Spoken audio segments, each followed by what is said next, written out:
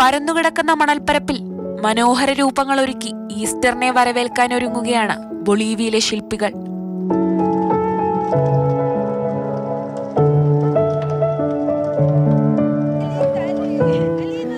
മണലിൽ സൃഷ്ടിക്കുന്ന കരവിരുത ആസ്വദിക്കാൻ നിരവധി പേരാണ് ഇവിടേക്ക് എത്തുന്നത്.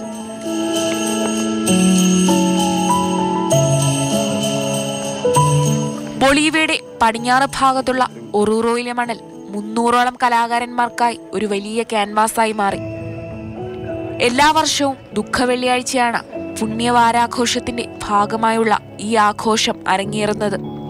ബൈബിൾ കഥകൾ മണൽ ശില്പങ്ങളായി ഒരുക്കുന്നു.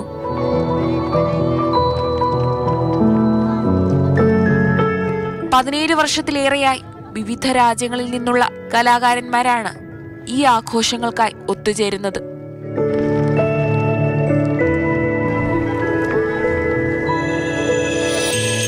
International desk Mathrubhumi news